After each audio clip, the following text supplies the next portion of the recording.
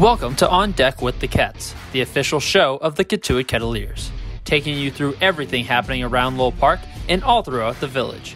Now, here is your Cotuit media team for this episode of On Deck with the Ketts.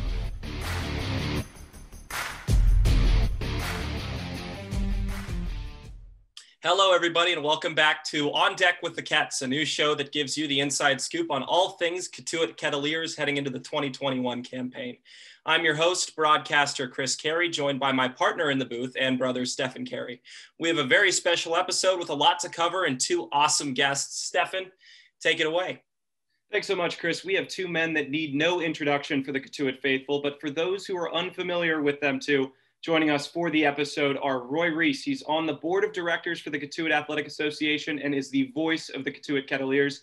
And we have Coach Mike Roberts, who is the manager of the Kettleers, three time CCBL champion with the team. Guys, so happy to have you on the show. It's great to be here. We, we look forward to this evening. Thank you. And so have we. It's it's been a long time coming to get this show started, but we're talking about a long period of time for our first question. Let's turn the clocks back 17 months. The date is August 9th, 2019. The Kettleers just secured their 17th championship of the CCBL. What was that like for you two? Roy, I'll ask you first. Up in the press box, that day is obviously unprecedented, thinking about the times we're in now. What, what did you see and what did you feel on that day? Well, let me just set a little example and a little scene setter for you. Lowell Park, third base stands jam packed. Uh, all the way down toward the bullpen, uh, fans sitting maybe three, four deep, all around the ballpark, from left field to right field, behind the fence, maybe three deep people all the way around. Then you get to the first base stands, jam packed, and all the way down from the end of the stands down to the bullpen, probably three, four deep down there ballpark on most games, Chris, we probably would have 12, 1300 people. And for this game, we probably had 2,500 people jammed into little Lowell Park. Now you got to just imagine this the electricity, uh, the energy that was generated by the fans for this game. Kettleers, uh, under Coach Roberts, had won two championships, but they had never won one at home. And it's a little different when you're at home winning a championship. And this was their opportunity to do so. They had won the night before and probably the greatest game ever played in the Cape, a 15 inning thriller that had people on the edge of their seats. And it was, I thought, the best game I've ever seen in my 12 years watching the Kettleers. So here we are back at Lowell Park. And I tell you, you said 17 months ago, it feels like yesterday to me now that I'm talking about it. I'm perched up in the press box. These fans just going bananas with every pitch. And we get to the ninth inning, and uh, it was just every pitch, strike one, the fans were just exploding. And when the game finally ended, everyone rushes the field. Uh, Coach Roberts, he's in the in the third base dugout. I don't know what he was doing because you couldn't even find him. Uh, and it was just mayhem, and it was just a tremendous celebration at Lowell Park. They had won their championship at home in front of 2,500 people. And the village of Cotuit just resonated with this excitement. I don't know whether that describes it to you, coach, but I mean, you had to have great feelings too. Well, yes. And Roy, I think you did an excellent job of taking us around beautiful Lowell Park, which is, you know, 19 acres surrounds it. And it's kind of like the the new field of dreams as it was explained years ago by espn and you feel like the fans are coming out of the woods which they are and uh, yes a unique day 15 inning game the night before finishes at midnight uh, three o'clock game the next day uh, maybe four o'clock maybe. And um, our players were so excited to play. But to kind of again just uh, take you through a little bit you it's one of those feels in the dugout uh, whether you're in the Major League World Series like the Dodgers were this year, the Red Sox several times, or I was in the ballpark. I worked for the Cubs when I'm not with the Kettleers uh, in 16. It's a feeling that you just know something good's going to happen. and it actually relaxes you a lot. And uh, from the first inning, you know, we felt like we were going to dominate that day, and the players did, and they deserved it. This wasn't a group that, you know, lucked through the season. They really bonded as most championship teams do. So Chris and Stefan, Roy witnessed it, but for me, watching the guys uh, run out on the field, dog pile. Uh, I was actually taking my uh, sunglasses off Roy so they wouldn't get destroyed, and I was putting them in my baseball bag. I, I want to give you one funny moment that kind of maybe will uh, bring it all together and and uh, take us on to uh, up to date. Is that in the ninth inning, Casey Schmitt came on the mound and you've got all these marvelous players standing around the mound, first, second, third, and short. Casey had come in to pitch the ninth inning, and you know it's kind of like Casey at the bat. I mean, it's an incredible moment. Um, and I walk out, and Casey and Cody Pasek are in the grass toward home plate, and the, the four infielders and myself are standing there. We're just kind of looking at each other. Nobody said a word. And you've got one out uh, in the ninth inning, and Casey's got great stuff. We know nobody's going to hit him, but he, he'd walked a couple people, which was unusual for him. So Casey and Cody walked back up on the mound. Nobody said a word, and Casey looked at the other six of us and said, I'm sorry, guys, with his California smile and cool as if, you know, no worries. I just happened to walk a couple guys. I'm so, and nobody said a word. I turned around and walked back to the dugout and of course, Casey gets the next out and a double play line drive at shortstop.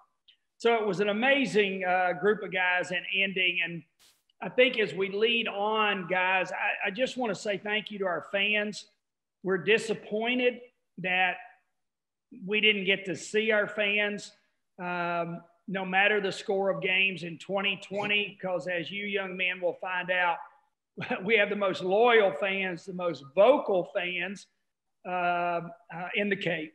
And so it's just a marvelous place uh, to play baseball. And we're saddened by missing 2020, but Roy and I and the board and our assistant coaches and everybody, other people that are getting prepared, we're really looking forward to 2021 and glad you uh, guys are going to be in the press box up there beside Roy. Well, Coach, we're so excited to be a part of such a storied organization and to make company with the both of you, especially today. But in this instance, the 2019 championship, you had won two others coming into that game. Where would you rank it amongst your other accolades with the team? Well, that's a really good question. It's a tough question. Uh, you know, I think every team, as, as coaches will say, are special.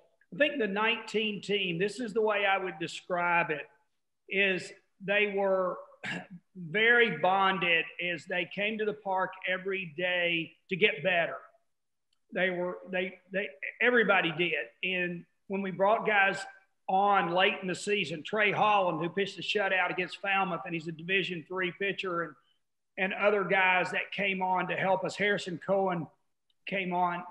They accepted these new players as if they had been there the whole season.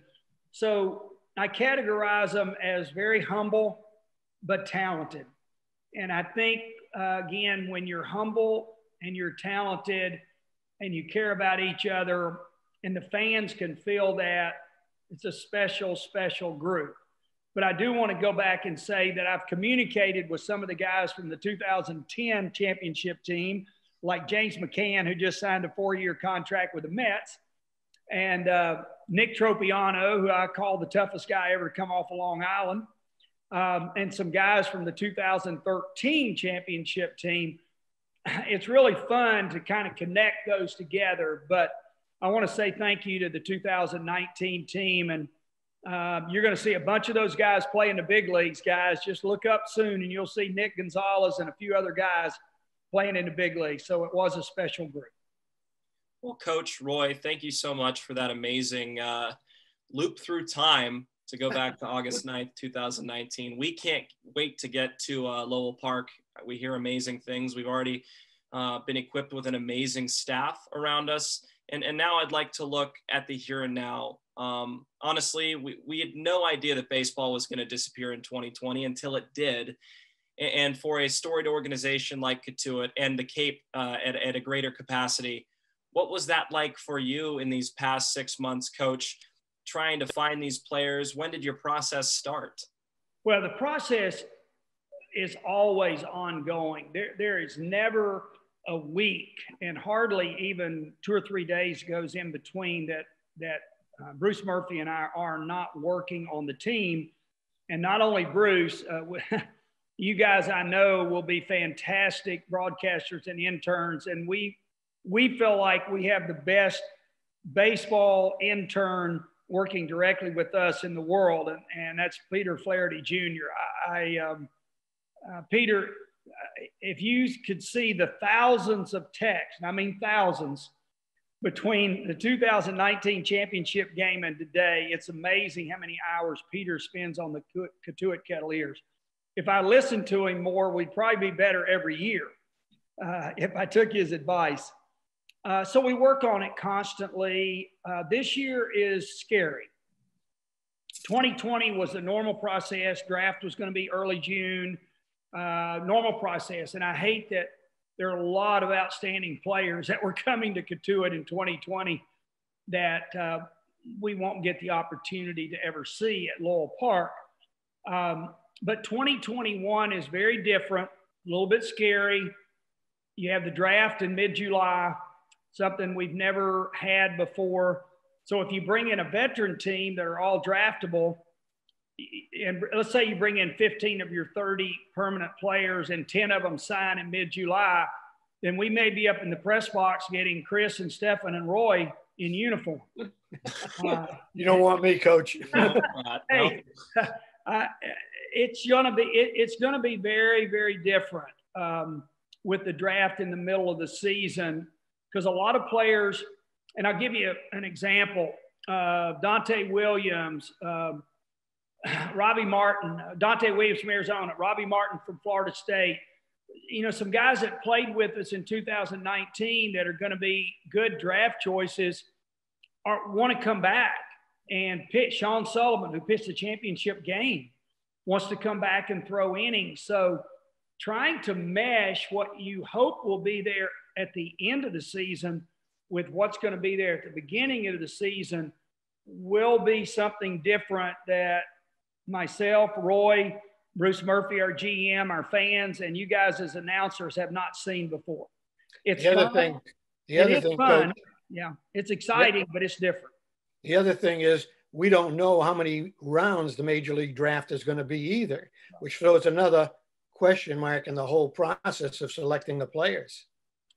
Right. If it's five rounds, then you know a lot of those guys are going to stay. If it's 20 rounds, you're going to see a mass exodus from the Cape Cod League. So stay tuned. Uh, we'll kind of see what happens. And I think the other thing I would add, Chris and Stefan, is that like the Ivy League, and we have several Ivy League guys coming, they're not going to play, it looks like, at all.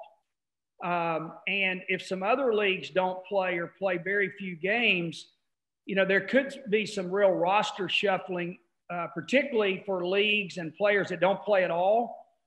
Because the thing that you want to try to prevent is bringing guys to the Cape League who have very little experience. So, um, yes, good question, very different, and stay tuned every week because it will change. Well, it certainly sounds like it is an uphill battle in terms of the 2021 changes. But you said something before we really got into that that was really interesting to me. From an organizational standpoint, we do have some of the best interns and some of the best higher ups in the Cape. And I've noticed that there's just a sense of cohesion with the Cotuit Kettleers. Roy, my question for you do you notice that within the community? Is that something that continues to move into the team? Is that a Cotuit ideology that, that we maybe will see? I'm going to go back 12 years ago. And 12 years ago, Paul Logan introduced me to the Cotuit Kettleers. And uh, I didn't live in Cotuit. And when I went to the first meeting, I sensed a sense of pride and uh, joy and camaraderie uh, that I had not seen in too many organizations. And I had been a lot of different places at work and different en- environments. And that got me to say, hey, I want to be a part of this. And the meetings are great. We usually will have 20, 25 volunteers coming to meetings in the middle of the wintertime. Um, and it's all part of Cotuit. Cotuit is a very, very special place. It's small. We're the smallest location, and the smallest town out of all the Cape League teams. And the people are, they're the most loyal fans you'll ever see. And they just come rain, snow, well, it doesn't snow in the summertime, but rain or shine, and and they're there, win or lose, and they they don't really they don't care, you know. They just want to be a part of the Kettleers, and it's part of the culture of Cotuit, and it's I don't know many years old. Uh, I don't know how many years, maybe 40, 50 years old, maybe even longer than that, Coach. And uh, it's it's just something to behold. It really is, guys. I mean, you'll see when you get there the feeling of camaraderie, togetherness, uh, pride of being a Cotuit Kettleer. There's just something about it. I can't describe it uh, better than that. You have to feel it. One, one, one trip to the to the Cotuit grocery, what we call the coop, on game day, and you'll feel it. You'll yeah. feel it.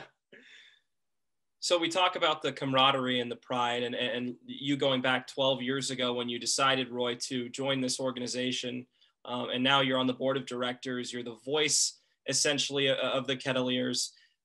And it has taken a lot of steps to get to where the Kettleers are now. And, and they're always constantly trying to improve. Uh, we're here a little bit to talk about the home run club. The baseball team yeah. needs help. Everybody needs more funding. Can you explain to us what the home run club entails? I sure can. Well, first of all, let me just say that we try to run a first class organization every single step of the way, no matter what it is. We want the best uniforms, the best everything. And of course, takes funding to do that. And being the smallest community in the Cape, we have to be most creative and really come up with some ingenuity of how we're going to raise funds because we don't have as many businesses to call on. Several years ago, Peter Flaherty Sr. Um, came up with the idea of a home run club uh, in honor of one of our great fans who passed away, and that was Bob Siegel. And Bob was uh, just a terrific, terrific fan who was at every single game. His son was an intern, I think, for five or six years. He was uh, the uh, scoreboard operator, and then he eventually moved uh, into the Cape League and became the official scorer for Cotuit. And we formed a, a home run club whereby people could donate uh, X amount of dollars for every home run hit by a Kettleer at Lowell Park during the season. And we've run this for a couple of years and we raised pretty good money uh, for this. And this year we figured we're going to try to uh, zero in on this and maybe expand the opportunity for people who want to donate to us. And we're asking for people uh, to donate $100 for every home run hit uh, by a Kettleer at at the ballpark at Lowell Park with a maximum number of 25 home runs hit by the Kettleers during the season. And we're hoping to get 10 people who will come on board on the club this first year. We're already up to four, so we're looking for six more. And uh, we just keep chipping away. And if anyone has any uh, suggestions of people that uh, need to be contacted, please, you can get in touch with me. Uh, I'm sure my uh, email address, my telephone number, my cell number is somewhere on the website, but I'd be more than glad to give it to you. It's rreese44 at gmail.com. And my cell number is 774 274 0225. Uh, hopefully, we get some more, and we're going to just keep working and working and working on this thing so that we can continue to bring in the funds that we need so that the Kettleers can always, and I mean always, be uh, a first class organization from top to bottom. That's that's what the kettle, that's what the home run club is. Well, and, and what are beautiful uniforms if you don't have 17 time champions, and that is representative of the team. It's great to see that you guys are thinking outside the box, especially right now in 2021 when we've been through so much, small business has been through so much. Would you say that this is something that's an absolute need, or do you feel that it's something that has potential to grow for many years to come? Well, we want it to grow for many years to come, and uh, that's why nothing comes easy. Stefan, nothing. And uh, you have to work at things no matter what it is broadcasting, coaching, ball playing. Um, just keep grinding away, you know, looking for, for different people who want to be part of the Cotuit Kettleer organization, who are proud of it, and uh, who want to contribute. And we're hoping that eventually this thing will grow and grow and grow. And who knows where it goes. And these, these, these fans may live a long ways away. They may not, they may not live in Cotuit. Right. Um, it's also a tax deductible donation. Yeah. And uh, so we're excited, and Roy's done a magnificent job. And I've got some names I'm still hiding from him that he's got to pull out of me. So I'm going to give him some more names. But uh, we're very blessed, as Roy said, to have a strong footprint in a financially the organization is in good shape but we want to continue to grow. And so um, i encourage anybody to to sign up and help us with the, the home run club and uh, communicate with roy. Uh, we would appreciate it. Great. I want to just say one other thing that uh, stefan said about 2021 uh, for any fan who hasn't been to lowell park wait till you get there because you're going to see some marked improvement from 2019. Coach Roberts has worked so hard on our capital project. You're going to see brand new stands in first base. You're going to see a brand new bullpen out in left field so that it frees up more space for our wonderful fans down the third base side.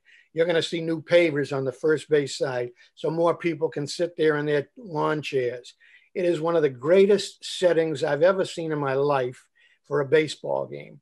I got to tell you guys, when I'm upstairs and I've got the greatest seat in the house. Uh, Stefan and Chris, you got the next best seat. I think the coach has got a better seat, but I'm right behind the plate, and it is like being in heaven watching a baseball game from up there because Lowell Park is the prettiest ballpark I've ever seen in my life, and it is just gorgeous. And it's a treat and an honor uh, just to be part of the organization and to do what I do. It really is. Now, Coach, th- those are big words from Roy about the the biggest seat in, or the best seat in the house. You have probably the best uh, standing area in, in, the entire stadium because you are on the field essentially. Uh, do, do you agree that Roy has it, or, or, or do you have it? No, Roy has it, and you guys do. And the next best seat is the top row, which was the third baseline only on the gorgeous new Port Orford Cedar stands but now there'll be a great seat equal on the top row of the first baseline as well. Uh, there are mornings when the sun comes up so beautifully in Cotuit over Cotuit Bay that I'll go up and I'll sit on the top row in the stands on the third base side and just sit there and enjoy the view um, if I could cut the tops out of just the trees a little bit to be able to see the water, it would be the greatest view in the world. Uh, but no, you guys have the best seat. And, um, but if you're going field level, I have the best seat if you're going field level. You'll love watching the coach in the dugout. You know what I mean? He's got his little book. One of these days, I'm going to ask him, tell me what the heck is in that book. He's always got a book that he puts behind his back and he's writing in that book. And I'd love to know what he has in that book as a reporter. But it's it's wonderful just to watch him in the dugout, you know, and the, what he goes through watching the team. Well, one of these days there'll be a book written about the book in my backside. so, for two Southern guys that have never been up to the Cape, beyond Lowell Park and events that occur in Cotuit what do you guys enjoy the most? I know that there are several things that are hosted at the stadium, but just for people that are that are newcomers, what would you have to say about the village of Cotuit? Well, I'm going to grab that one from Roy. Um, he's been there 12 years. I've been there like 18 now, and and really, I, I played. I started coaching in the Cape in 1984. I started sending players there in the 70s as the coach at UNC Chapel Hill these are the things that that I would say. The July 4th parade is the greatest parade anywhere in the United States. When COVID is over and you guys can see July 4th parade, it is something you don't want to miss. Every child is wearing red, white, and blue. Every dog has got, you know, a jacket on, and it's amazing what goes on. Uh, I think that's part of it. I think when you look at the Cotuit Grocery, it, it's an amazing little deli where the players go and gather. Where when people you know think I don't coach very well, they'll call me and say, "Can I have a meeting it's with you at the coop?" And I said, "Yeah, I'll be glad to meet with you as long as you buy me a, some great food at the deli." Um, you've got you've got the, the the oldest children's yacht club in America just right outside the right field fence uh, in Cotuit Bay. And I sit and watch them all the time, Monday through Friday, as they sell those 13 foot skiffs that are built in Cotuit. There's just so many wonderful uh, traditions uh, in the village of Cotuit um, that I think you will enjoy all summer long. There's the brush off in the village green beside the library. And the library is my favorite place to go in Cotuit because I read to children there every Tuesday morning when we don't have COVID. And the brush off is all the, the wonderful artists in the area. They bring their paintings uh, on a Saturday afternoon, and we send players down there actually for a few hours, even on game day. Um, so it's a it's a very diverse community. But I'll tell you this: everybody walks around with their head up whether they're heading to the beach or they're headed uh, to get on the boat uh, to take a trip or wherever they may be going. and uh, as Roy knows, uh, I love the song Hey Hey Cotuit. It talks about the village of Cotuit. It's, it's a marvelous place, Chris and Stefan. And, and when you get there, it won't take you but a few minutes to understand. When you drive down Main Street, you'll see the special, special place it is. One of the things that I like best about the ballpark. And the thing that just is great to watch is when we have the little kids coming through the fence uh, to, to meet the players of the Kettleers and ask for autographs. I mean, and to see the college kids who are players uh, complying and signing autographs because a lot of times pro athletes don't do this. And after the game, you just see the little kids running around the bases, uh, socializing with the players. I mean, it's it's America at its greatest. You know, it reminds you of apple pie and, and all the things that uh, that you just think of. I mean, it's just uh, a dream come true. It really is. The whole scene. Uh, and Cotuit is one of the prettiest little places you'll ever see. I mean, there aren't too many uh, strip malls or any of that stuff that you see uh, elsewhere in America. So just brace yourself. You know, I think I would add to that uh, to close out this section session area is that Roy and I, I can hear it in Roy's voice, board meetings, and I certainly feel the same way. We know that we've been blessed to be there, and we want the people that come in behind us to be the announcer, to be the next coach, to be on the board of directors. We want to leave them with absolutely the best situation possible uh, in every way. And that's our goal um, and and we're and we're trying to do that. And I think I think everybody on the board and our fans and support, we're doing that. And um, it, it's an amazing situation. I, I just as soon I love Wrigley Field. I love it. I love it. I love Fenway Park, but I don't love it any more than I love Lowell Park. And I can obviously see that the anticipation is building for you both. So here's a little question on the fly Roy, have you been training your vocal cords on the way to uh, Lowell Park for 2021? And coach, uh, your your steal steal the base signs, your uh, dust off your pants. Have you have you been doing that in the backyard? I'll let Roy go. I can hardly wait for 2021. I got to tell you, I mean, it was such a void not having baseball this last past summer, and uh, to me, everything I do in the summer is is really geared around uh, the 22 uh, I think it was 21 home dates because we had a double header and, and going on the road, you know, and uh, when I don't have to work, nothing like going to Chatham for a seven o'clock game or to Bourne to watch that or, or anywhere, you know, Orleans down for a seven o'clock game and coming home by 1130, 12 o'clock. Um, there's nothing quite like it. You know, the camaraderie, the relationships that you build in the summertime. Um, it just it's it's just fantastic.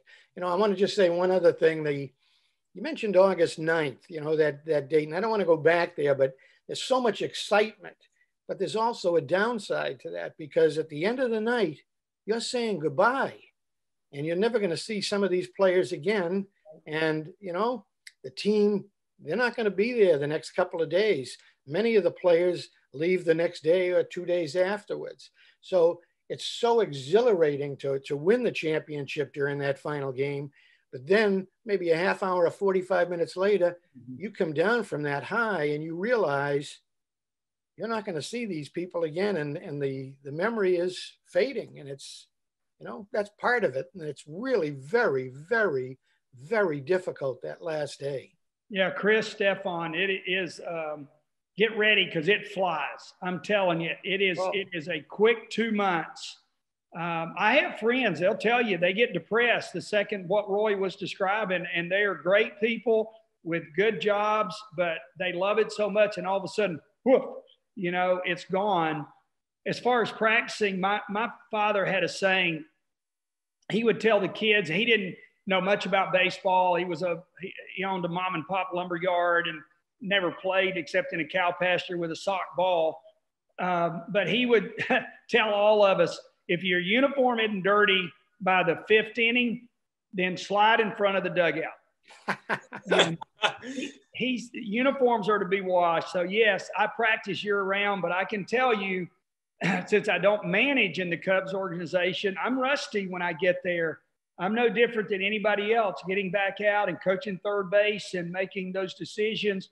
I tell the players, look, you know, I, am probably not very good early. You got to stick with me and my mistakes a little bit because uh, it takes a little bit of time to warm up. But will my pants be dirty and my book in the back of my pants? Yes, I'll be ready. My dad was always a big proponent of wearing the socks up high, Alfonso Soriano style. and I know we're both so excited to come up to the Cape and to broadcast. Chris is so excited that he'll just narrate me making dinner sometimes. so that is uh, something that we're certainly looking forward to. Thank you both so much for joining us on episode two. We really look forward to meeting you guys when we get to the Cape. Uh, we look forward to seeing you guys up there, and you're going to have, trust me, the greatest summer you'll ever have in your life, and it'll be something that you will never ever forget. Thank you for this evening, and uh, I just want to make sure people see my championship sweatshirt. Look at that. 2019 and Roy enjoy Florida and we'll all gather together sometime right after Memorial Day at Lowell Park and we look forward to that. Uh, so everybody stay safe and healthy.